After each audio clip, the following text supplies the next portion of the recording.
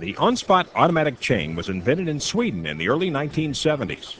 The concept was to provide quick traction in snow and ice, but be able to retract the system on dry pavement. Let's take a closer look at how the OnSpot system works.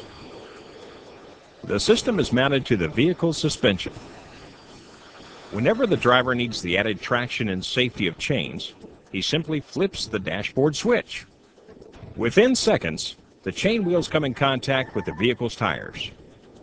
The pressure between the chain wheel and the tire causes the chain wheel to rotate in sync with the tire, in forward or reverse, and the centrifugal force sends the chains into action to bite into the snow and ice.